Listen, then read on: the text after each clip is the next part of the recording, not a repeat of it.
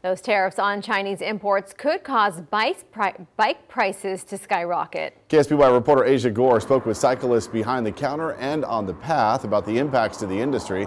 She joins us live in San Luis Obispo with details. Asia?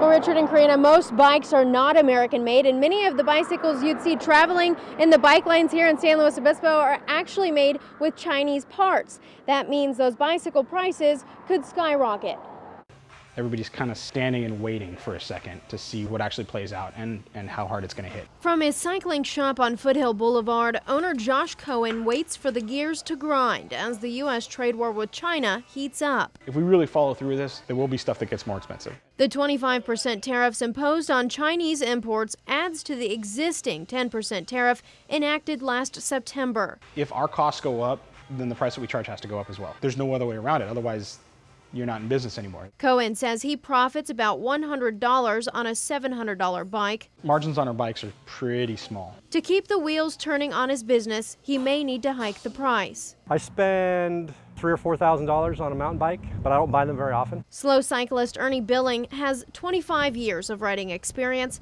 Though he buys high dollar American made bikes, he does purchase Chinese parts for repairs. If the prices go up, it's going to that's going to be a bit of sticker shock. Economists predict sticker shock will take full effect, starting with imports received after June 1st when the new tariff kicks in. A 25 to 50% increase in price would be heavily destructive to the market in general. We couldn't absorb that kind of price increase. Three quarters of bike shops would just disappear. Those bikes likely the lower end of the price scale used by students, commuters, and newcomers. People are thinking about getting into cycling and not looking to spend a lot of money. It's going to be a bit of a, a bit of a shock.